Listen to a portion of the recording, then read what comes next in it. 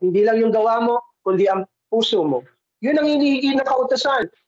Ang hinihingi ng kautosan ay yung gadak na pagsunod.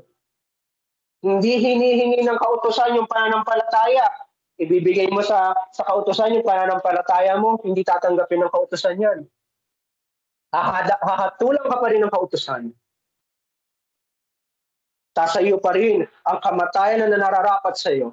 Kasi hindi yan yung hinihingi ng kautosan. Ang hinihingi ng kautosan ay yung ganap na pagsunod. Perpektong pagsunod.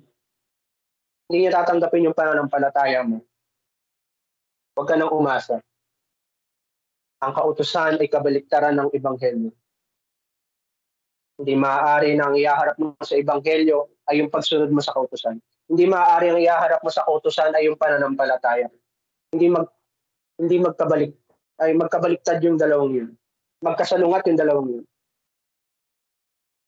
Kailangan mo malaman na ang kautos, kautosan ay hindi naghahatid sa kaligtasan, kundi sa kapahamakan. Hindi kaya hatid ng kautusan sa kaligtasan. Ipapahama ka lang ng kautusan. Ahatulan ka lang ng kautusan. Kasi ang nasasalamin sa kautusan ay yung kabanalan ng Panginoon, maging yung pagkamakasalanan mo. At hindi mo mauunawaan yung pangatlong gamit ng kautusan para makita mo ang katuwiran ni Kristo sa kautusan kung hindi mo na ipapangaral sa iyo ang Ebanghelyo. Kaya hindi ka iahatid ng kautusan sa pagkakilala kay Kristo, malibang marinig mo muna ang Ebanghelyo ng Panginoon.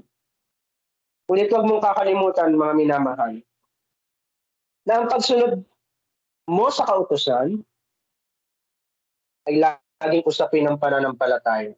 Hindi ito usapin ng paggawa. Kahit yung good works mo, kahit yung pagsunod mo sa kautosan, yung pagsunod mo ng tapat sa Panginoon, yan ay hindi usapin ng gawa mo. Yan ay usapin lagi ng pananampalataya. Kasi ang isang patay ay walang kakayanang sumunod sa Panginoon. Eh kaya ka lang naman buhay ngayon spiritually dahil binuhay ka ng Panginoon at pinagkalooban ka ng pananampalataya na nagpapanatili sa iyong Panginoon sa Kristo na nakahugpong sa iyo. Kaya nananatili yung buhay ng Panginoon sa iyo kaya umaagos ang buhay sa iyo dahil sa pananampalataya na iyon. Kaya huwag mong kakalimutan na ang usapin ng pagsunod sa Panginoon, mag-isa kanyang kautosan, ay usapin pa rin ng pananampalataya. Susundin mo ang kautosan hindi upang tuparin ito para sa iyong katuwiran, kundi upang maisapamuhay mo ang katuwirang nagmumula sa pananampalataya. Kung susundin mo ang kautosan, ito ay gagawin mo lang nang merong pagpapasalamat sa Panginoon sa minsanang kaligtasan na ginawa ng Panginoon. Kung mapapansin nyo, saan nagsimula ang Ten Commandments? Ano sabi sa verse 1 ng chapter 20 ng Exodus? Miligkas ng Diyos ang lahat ng salitang ito na sinasabi, Ako ang Panginoon mong Diyos na naglabas sa iyo sa lupain ng Ehipto. Ang Ehipto ay picture ng kasalanan. Ako ang naglabas sa iyo sa lupain ng Ehipto, mula sa bahay ng pagkaalipin. Ang ibig sabihin nito, bago binigay ng Panginoon yung Ten Commandments, ipinaunawa mo na ng Panginoon, ako ang nagligtas sa iyo. At dahil ligtas ka na, sa ilalim ng aking kaligtasan, meron kang pananagutan, meron kang responsibilidad na sundin ang aking makautusan para maligtas ka. Hindi, ligtas ka na eh. Susundin mo ang kautosan para ano? Magpasalamat sa paghilagilalas na gawa ng Panginoon ng kaligtasan. Kaya ang pagsunod sa kautosan ay usapin pa rin ng pananampalataya. Hindi ka susunod dito upang magkaroon ka ng, ng kaligtasan at katuwiran, kundi upang isa pamuhay yung katuwiran na ibinintang sa iyo ng Panginoon at dumaloy sa iyo sa pamagitan ng pananampalataya, yung katuwiran ni Kristo mula sa krus ng Kalbaryo at sa kanyang pagsunod sa kautusan ay ibinintang sa iyo at sa prinsipyong yon, mamumuhay ka ngayon ng may kabanalan at katuwiran bilang pagpapasalamat sa Panginoon. Sabi sa Roma 3, 27 ang ating teksto. Kaya nasaan ang pagmamalaki? Ito hindi kasama sa pamagitan ng, ng anong sa pamagitan ng anong kautusan ng mga gawa, hindi, kundi sa pamagitan ng kautusan ng pananampalataya. Ang sabi ni Pablo, sa madaling sabi, ang sabi ni Pablo, ang kautusan ay walang bisa sa kaligtasan. Sabi niya, sa pamagitan ng anong kautusan ng mga gawa, ang sinasabi, ang sinasabi ni Pablo, anong kaluwalhatian ang meron ka sa kautusan? Wala. Maliligtas ka ba ng kautusan?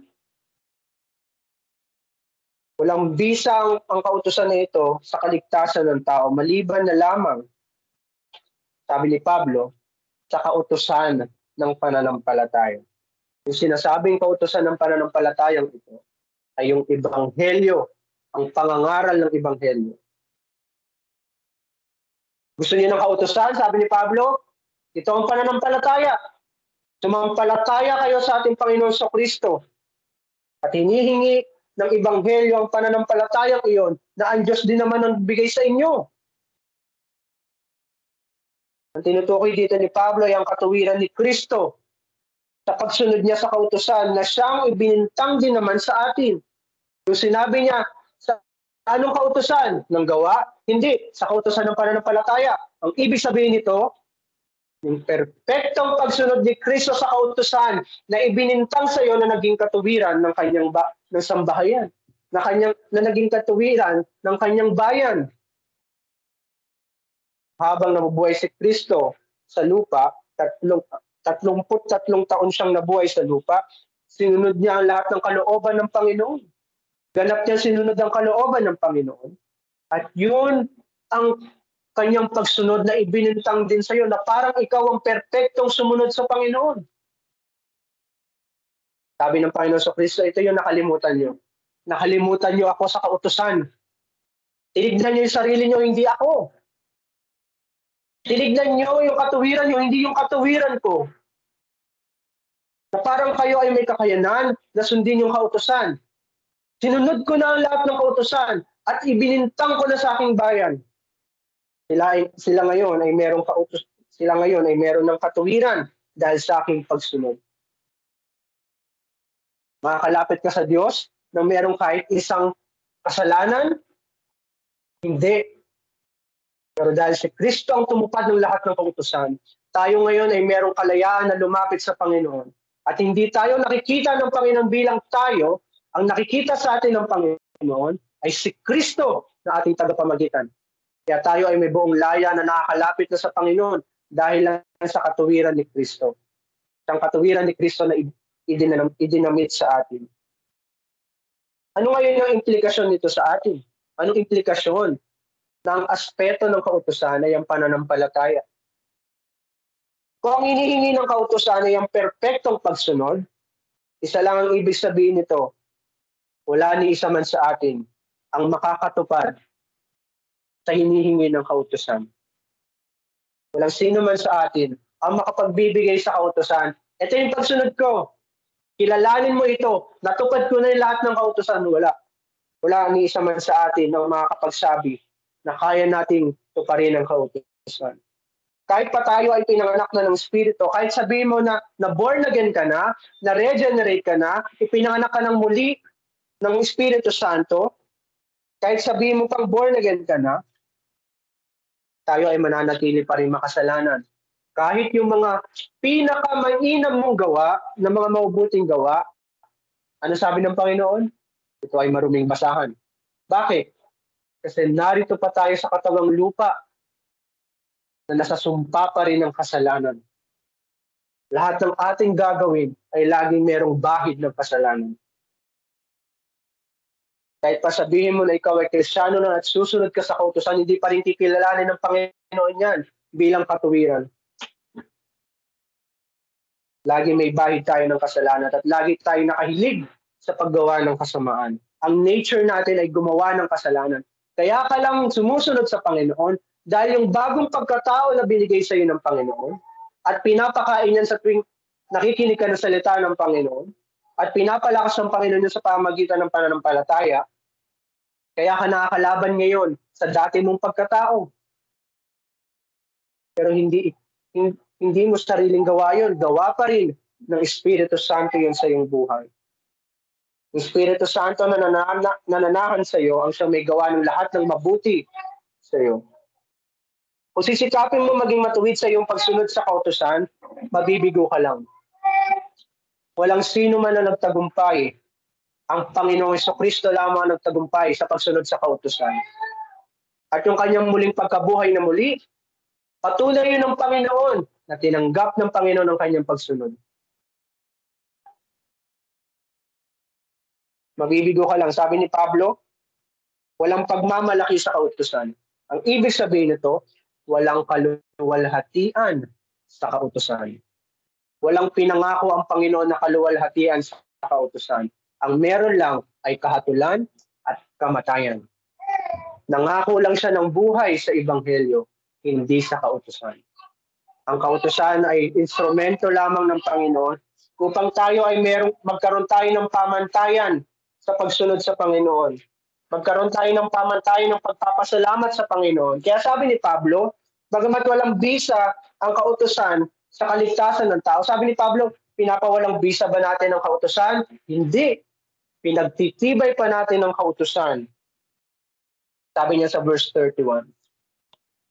Sapagkat ang kautusan ito ay nagkaroon na ng tamang perspektibo sang ayon sa ebanghelyo ng Panginoon sang-ayon sa kamatayan ng ating Panginoong Kristo.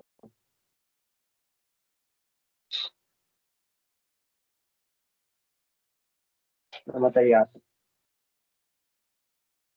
Mahalaga maunawaan mo na ang kautosan ay pumapatay, ngunit ang pananampalataya na nakasalig sa perpektong pagsunod ni Kristo sa kautosan ay buhay. Wala kang aasahang buhay sa kautosan. Ang aasahan mo lang buhay ay doon sa pananampalataya na binigay ng Panginoon. Sapagkat ang pananampalatayang ito ay naglalaman ng lahat ng perpektong pagsunod ng Panginoon na ibinintang sa iyo. Naging mabisa ang kanyang katuwiran dahil sa pananampalatayang ito. Pananampalataya ang instrumento upang ang pagsunod ni Kristo sa kautusan ay maibintang sa atin. Tatamuhin mo lamang ang buhay kung ipagkakaloob sa iyo ni Kristo sa pamagitan ng pananampalataya.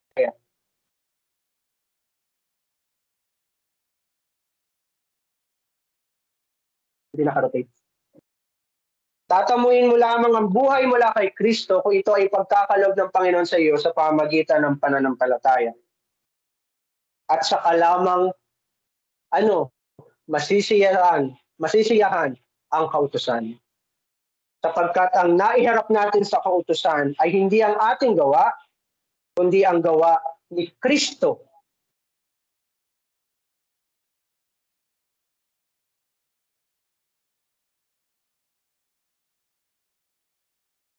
Mga minamahal bilang pagtatapos, mahalagang aspeto ng kautusan ng pananampalataya.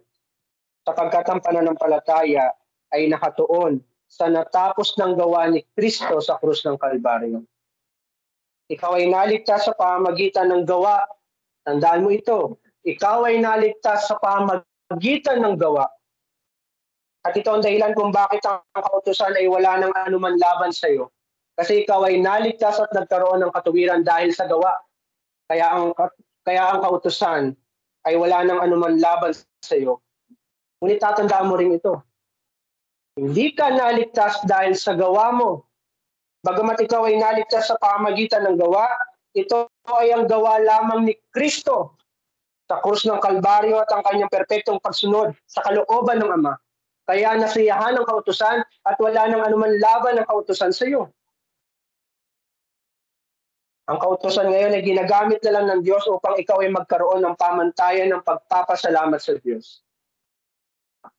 Manampalataya ka kay Kristo, ang manampalataya ka kay Kristo ay ang kautusan ay ang kautusan na nagpapatunay na nasunod mo lamang ang kautusan alang-alang lamang kay Kristo.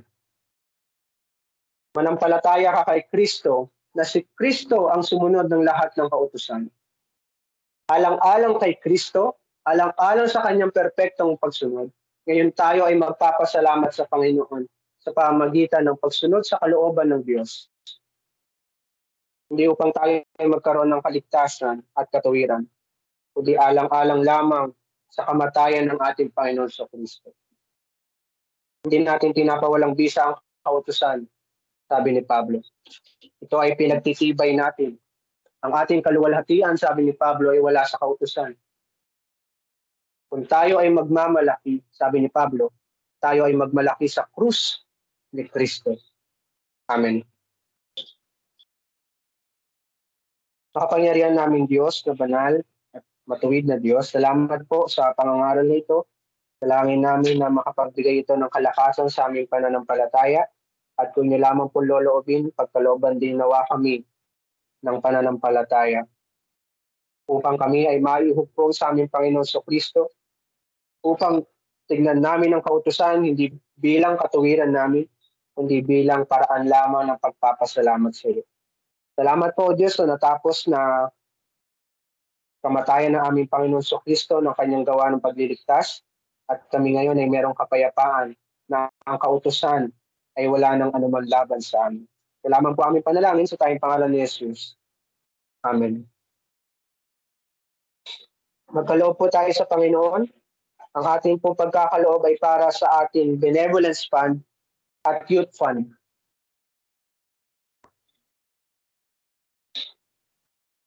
Benevolence fund and youth fund.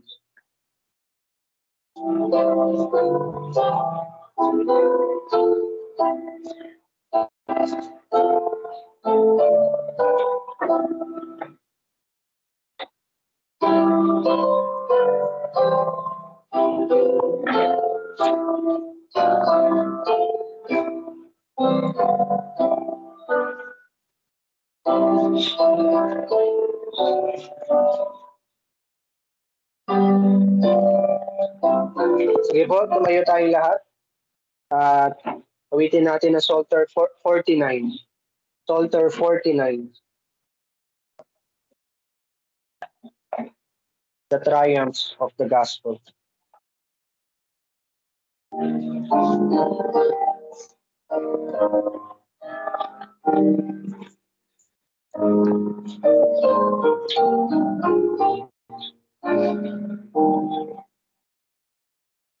The ends of all the earth shall hear and turn unto the Lord in fear. For kingdoms of the earth shall know and worship Him as God alone. All to Him her homage brings, Lords, the King of Kings. For He's the kingdom is upright.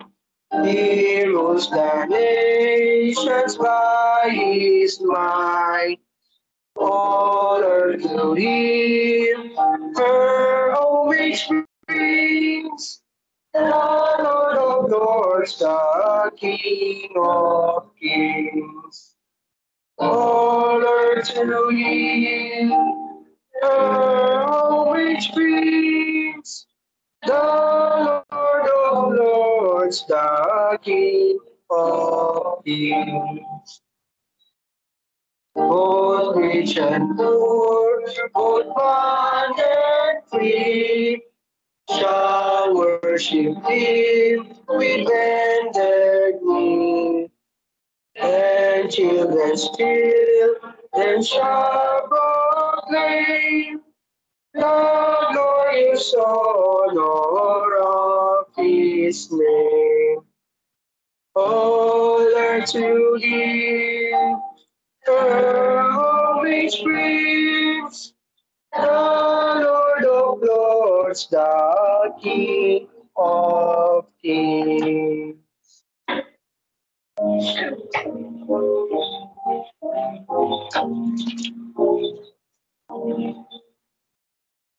Tanggapin natin ang basbas ng Panginoon.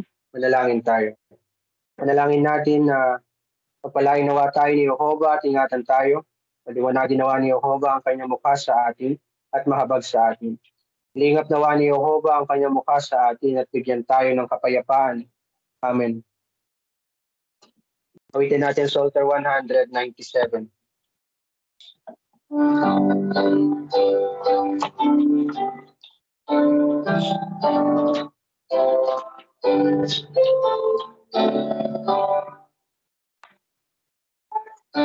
Blessed be Jehovah,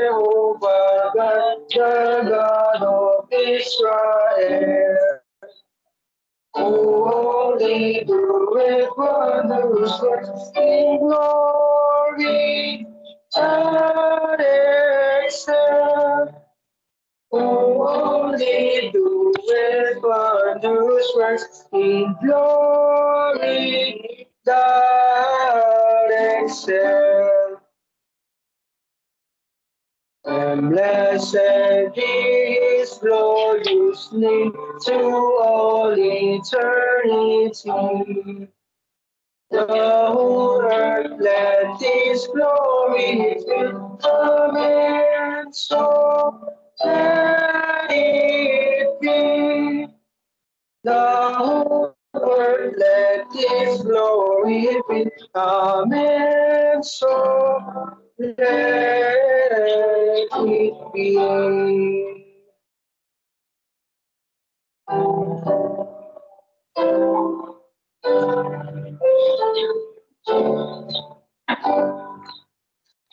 Salamat po at pagpalain kayo ng Panginoon. Ang ating pong um, essentials mamaya ay 3 p.m. po. Siguro po sa true step na lang po tayo ang ating essentials mamaya. Happy Lord's Day po. Happy Lord's Day po sa inyo po dyan sa Laguna. At kayo rin po dyan, Ragilag family. At sila Angela, sila Daniel, sila MJ. MJ. Ano ko po sandali, sandali. Ikaw, ikaw ba to, Jay? Michael Jordan. Sige po, paki-stop na po yung recording. Salamat po. Happy Lord's Day po sa inyo, Ragirag family. At sa Laguna.